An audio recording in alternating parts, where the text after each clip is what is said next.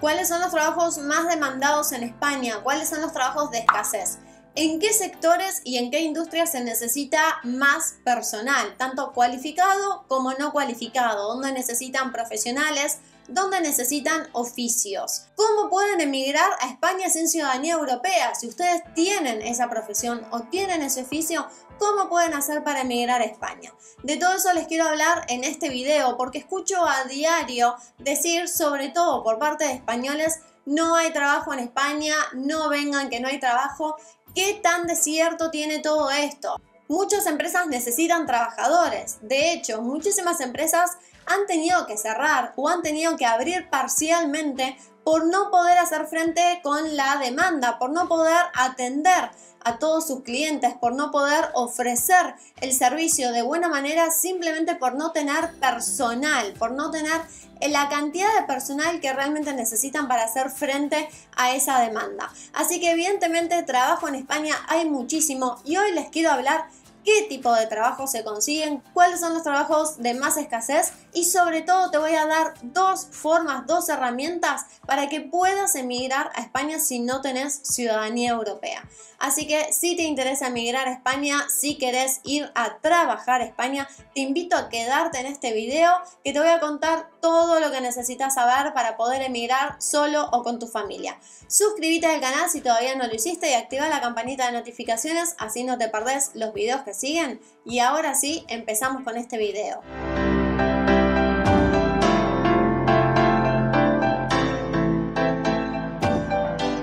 Como les decía, en España se necesita muchísimo personal, muchísimo profesional y no profesional. Sin embargo, se escucha a diario decir, somos 3 millones de parados, somos 3 millones de desempleados, ¿cómo va a haber trabajo? España tiene la tasa de desempleo más alta de Europa, muchísimos españoles diciendo que no consiguen trabajo. Entonces les voy a hablar sobre qué es lo que está pasando en España, cuáles son los sectores más eh, perjudicados, cuáles son las industrias donde realmente necesitan personal, cuáles son los trabajos de más escasez y sobre todo te voy a contar si vos tenés ese trabajo, si vos tenés esa profesión y tenés experiencia, cómo podés hacer para llegar a España. Así que vamos a empezar por los sectores y les voy a ir contando un poquito de qué se trata. Por un lado, profesiones que son muy demandadas y que necesitan muchísimo profesional y además que tienen muy buen salario, es todo lo que tiene que ver con ciberseguridad. Hace muy poquito me contactó de hecho un argentino, un chico con el que veníamos hablando a través de las redes sociales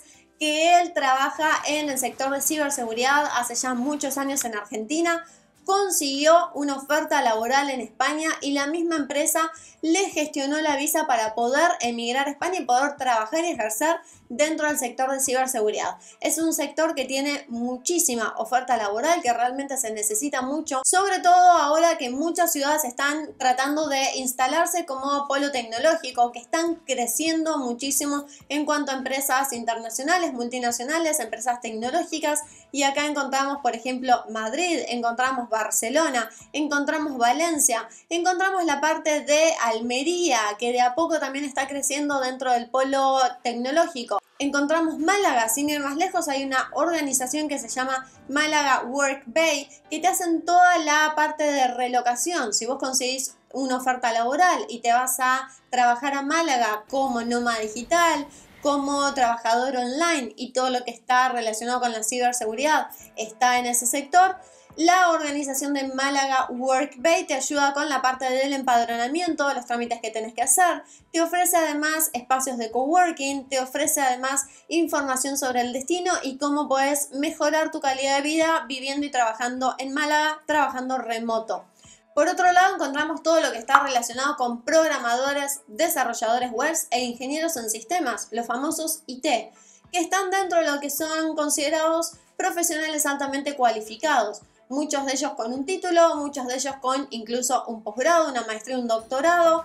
Lo cierto es que todo lo que está relacionado con sistemas es muy, muy demandado. Obviamente acá me van a decir, Aye, no son todos o la gran mayoría de las personas comunes de Latinoamérica que quieren emigrar a España no son ingenieros, no son programadores, no son desarrolladores y hay una lista interminable de profesiones y oficios a los cuales ahora voy a llegar, pero todo lo que tiene que ver con tecnología hay muchísimo. Lo bueno es que estas personas que tienen una profesión, que tienen experiencia en todo el sector eh, de tecnologías, todo el sector de programación y demás, pueden llegar con una visa desde España o desde su país de origen y van a conseguir no solo trabajo, sino que además muy bien pago. Por otro lado, encontramos siguiendo la línea de los profesionales todo lo que tiene que ver con los profesionales de la salud. Y acá encontramos odontólogos, kinesiólogos, médicos pediatras, anestesistas, encontramos radiólogos, encontramos también todo lo que tiene que ver con enfermeros y auxiliares de enfermería. Ahora, con estas profesiones sí hay un tema y es que es una profesión regulada. ¿Qué significa que sea una profesión regulada? Significa que todos los profesionales de la salud que quieran ejercer en España necesitan una homologación.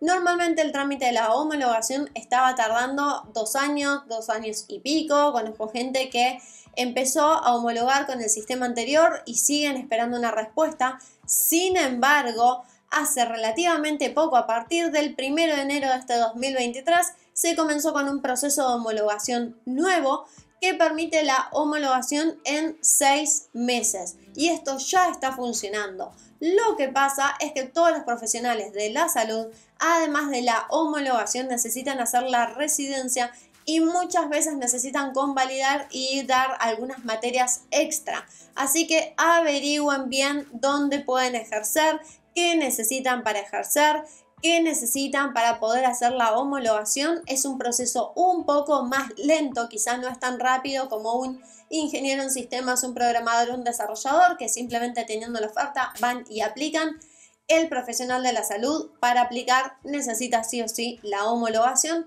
pero sin duda uno de los problemas más grandes que tiene España es el colapso del sistema de salud y esto se debe ni más ni menos que a la falta de profesionales en el sector salud.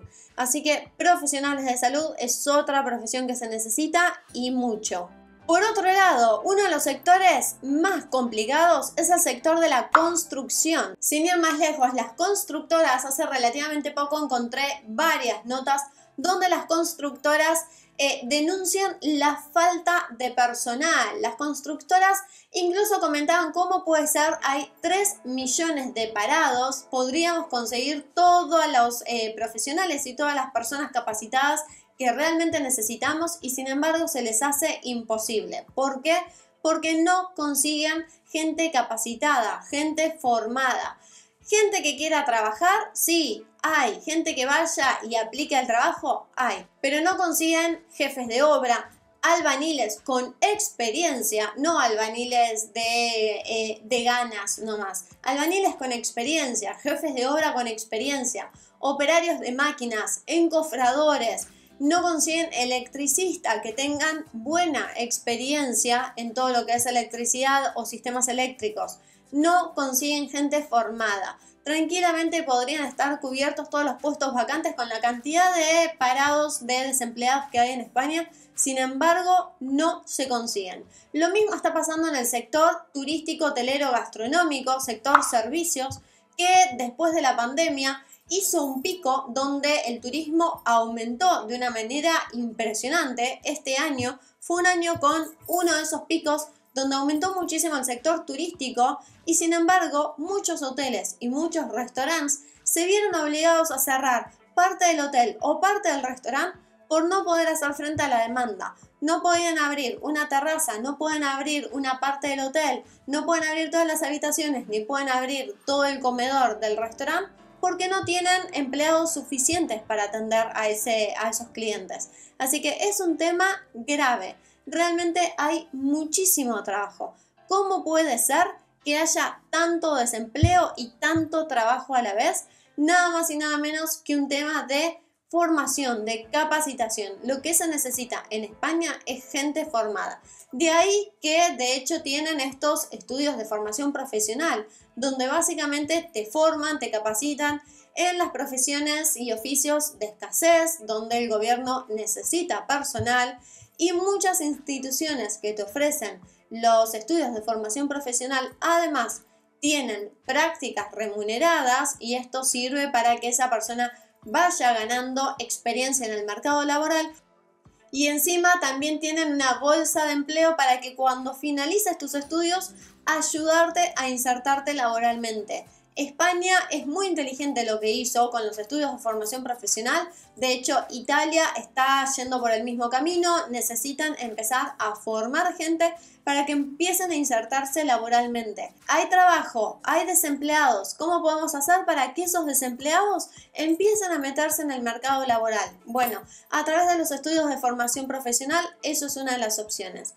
Interrumpo este video para contarles que si están pensando en viajar a Europa por placer, por vacaciones o para emigrar, necesitan viajar asegurados. Es muy importante que no importa el tipo de viaje que vayan a realizar, siempre viajen con cobertura médica. La asistencia médica en los países de Europa, si no son residentes, es extremadamente cara. Así que siempre les recomiendo que viajen con cobertura. Además, para muchos países y visados, el seguro médico es un requisito obligatorio para tu viaje. Si necesitan asistencia, asesoramiento o que los ayude a cotizar, pueden hacer clic en el enlace que les dejo en la descripción del video o pueden escribirme por privado y los ayudo a cotizar un buen seguro con hasta un 30% de descuento que se adapte al viaje de ustedes.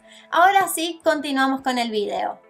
Por otro lado, España tiene lo que se conoce con el nombre de catálogo de difícil cobertura, yo lo he mencionado en distintas oportunidades. El catálogo de difícil cobertura es nada más y nada menos que un catálogo que se renueva cada tres meses y acá muchos van a levantar la mano y van a decir, Aye, todo lo que está en el catálogo tiene que ver con lo naval. Y solía ser así. El catálogo básicamente tiene oficios y profesiones de escasez en España y que están dispuestos a contratar extranjeros. ¿Por qué? Porque no consiguen españoles y no consiguen comunitarios que estén dispuestos, capacitados o formados a hacer ese trabajo. Entonces, todos los oficios y profesiones que vean en el catálogo de difícil cobertura son aptos para poder aplicar a una visa de trabajo en España. Así que, ojo con esto, escuchen bien, abran los ojos. Son trabajos que están dispuestos a contratar extranjeros. Yo les voy a dejar el catálogo de difícil cobertura en la descripción del video. Ese catálogo se renovó ahora, agosto del 2023, e incluyeron todo lo que tiene que ver con construcción. Yo sé que en Argentina, al menos, hay muchísimas personas formadas, capacitadas en todo el sector de construcción. Así que me han consultado, de hecho recibo muy seguido correos electrónicos, mensajes por Instagram, por YouTube, acerca de personas de Argentina o de Latinoamérica que tienen experiencia en construcción para ver cómo pueden emigrar a España. Bueno, construcción ahora está en el catálogo difícil cobertura. También operarios y conductores de grúas móviles y fijas, con lo cual si tienen experiencia en grúas también están necesitando gente y está en el catálogo difícil cobertura. También los electricistas ahora figuran en el catálogo difícil cobertura. Por último, carpinteros también figuran en el catálogo difícil cobertura. Y por el otro lado seguimos teniendo todos estos oficios y profesiones dentro del sector naval, desde la parte de logística, la parte de chef para navíos, la parte de em, camareros para navíos, la parte de eh, azafatas, ayudantes de cocina, para navíos. Así que con la parte naval hay muchísimo. Y ahora, como les decía hoy al inicio, vamos a suponer que son un profesional de la salud o que son un ingeniero o que son electricistas, carpinteros, conductores. También lo que se necesita mucho, bueno, conducción de logística, conductores de camiones, también muchísimo. Si tienen alguna de estas profesiones, u oficios, ¿cómo pueden hacer para llegar a España? Hay dos formas que son parte de las visas de trabajo. Más allá de las visas de trabajo, que ahora les voy a explicar las dos opciones, también tienen la visa de estudios. La visa de estudios es justamente una opción para llegar a España a estudiar, a estudiar presencialmente, no puede ser online, tiene que ser presencialmente, y pueden estudiar un estudio de formación profesional, con lo cual tienen prácticas remuneradas y una vez que finalizan, la institución, muchas de las instituciones los ayudan a insertarse laboralmente. Por otro lado, pueden estudiar un estudio de lo que quieran, una carrera de grado, un curso, una maestría, un doctorado, un posgrado, pueden estudiar lo que quieran. Si, por ejemplo, quieren estudiar algo eh, dentro de lo que está en escasez, hotelería, turismo, agencia de viajes, eh, para chef, algo relacionado con la parte de gastronomía propiamente dicho, enfermero, auxiliares de enfermería. Si quieren estudiar eso, hay un montón de cursos, carreras, eh, estudios de formación profesional que los van a formar, los van a capacitar y eso les va a permitir emigrar a España y finalmente quedarse en España. Si por el contrario no quieren ir a estudiar, quieren ya ir con una visa de trabajo y directo a trabajar, también tienen esa opción. Y en este caso encontramos dos visas que aplican en estos casos. Uno es el permiso de residencia y trabajo por cuenta ajena, que es para trabajos u oficios, profesiones regulares. ¿Qué significa regulares? Que no son profesionales altamente cualificados. Y esto aplica para los conductores u operarios de grúas, aplica para la construcción, aplica para albaniles, jefes de obra, aplica para conductores profesionales, electricistas, carpinteros son todos los que no son profesionales altamente cualificados, que pueden tener un estudio terciario, que pueden tener experiencia y quizás no tienen un título de grado, una carrera, un posgrado, una maestría, pero que tienen la experiencia suficiente para poder aplicar a este visado y para poder trabajar. Bueno, pueden aplicar a esta visa, permiso de residencia y trabajo por cuenta ajena. ¿Cuáles son los requisitos principales o qué es lo que tienen que conocer? Este permiso de residencia no se aplica desde España, se aplica únicamente desde tu país de origen. Con lo cual el primer paso va a ser buscar una oferta laboral en España, chequear el catálogo de difícil cobertura, ver si mi profesión, mi oficio está en ese catálogo. Si está en ese catálogo y está dentro de los que fui mencionando yo, en ese caso se meten en las aplicaciones de búsqueda laboral. Tienen LinkedIn, Indeed, InfoJobs, Domestika, eh, infoempleo, hay un montón. Ponen empleo en España o trabajo en España y les va a salir muchísimas páginas web, muchísimas. Pueden aplicar en cualquiera, siempre que apliquen a un trabajo de estos que están dentro de los de escasez y consigan una oferta laboral, va a ser la empresa quien va a iniciar el proceso migratorio, el proceso de la visa desde España. Ustedes no tienen que hacer nada por el momento y ustedes tienen que estar en su país de origen. Este permiso de residencia se los dan si consiguen una oferta laboral y si finalmente la empresa inició el proceso desde España, se les da un permiso de residencia por un año. La primera vez que lo renuevan lo van a renovar por dos años más y ya luego lo pueden renovar dos años más. Por otro lado, tengan en cuenta que a los dos años de residencia en España, todos los países iberoamericanos tenemos un convenio especial con España para la solicitud de la ciudadanía española. No aplica la visa de estudios, pero el permiso de residencia y eh, por trabajo sí aplica. Así que tengan eso en cuenta también. Para poder aplicar a un trabajo en España se tiene en cuenta la situación nacional de desempleo. ¿Qué significa eso? Que cualquier trabajo de España siempre la prioridad la tiene un español y en segunda instancia lo tiene un comunitario. Recién en tercera instancia la tiene un extranjero o extracomunitario. Si nosotros somos extracomunitarios y no tenés una ciudadanía europea, tenés la, no tenés prioridad. Siempre la prioridad la tiene el español y el, y el comunitario.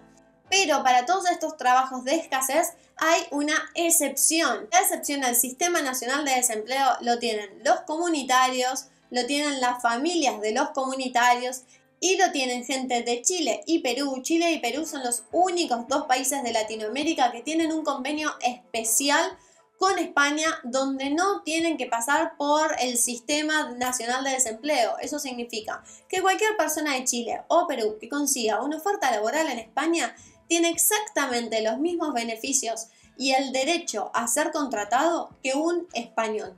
Sin embargo, si sos de Argentina, de Uruguay, de Brasil, Paraguay, Bolivia, México, República Dominicana, Honduras, Nicaragua, etc., no sos ni de Chile ni de Perú, tenés que pasar primero por el Sistema Nacional de Desempleo. Siempre la prioridad la va a tener españoles y comunitarios, salvo para estos trabajos de escasez. Si vos querés conseguir un trabajo como vendedor, por ejemplo, en una tienda, o querés conseguir un trabajo en un call center, o querés conseguir un trabajo de lo que sea, siempre la prioridad la va a tener un español o un comunitario. Eso significa que vas a aplicar a una oferta laboral y si hay un español que aplica la misma oferta que vos, listo, suficiente para que a vos no te den el trabajo.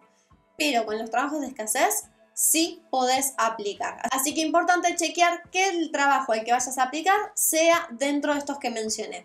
La segunda opción de visado es el permiso de residencia para profesionales altamente cualificados. Y en este caso entran justamente todos los profesionales que tienen una carrera de grado, maestría, doctorado, posgrado, como por ejemplo ingenieros en sistemas, programadores, desarrolladores, eh, profesionales de la salud. Para poder aplicar este visado sí se puede aplicar desde España o desde consulado. Por otro lado tenés que tener en cuenta que también el proceso lo inicia la empresa que te contrata, con lo cual lo primero es conseguir una oferta laboral y tenés que tener en cuenta que para aplicar a un profesional, a una permiso de residencia como profesional altamente cualificado, tenés que cumplir con el requisito del salario.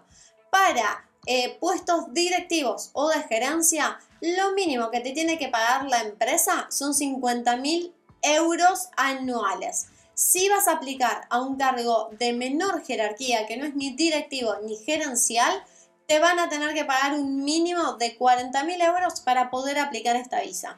De repente sos ingeniero en sistemas, programador, desarrollador, conseguiste una oferta, la empresa te quiere contratar, necesita profesionales, no consigue españoles, no consigue comunitarios, te quiere contratar a vos, pero te va a pagar 30 mil, no te sirve, tiene que ser de 40 mil para arriba. Así que esto también es importante porque no solo depende de nosotros, sino que también depende de la empresa.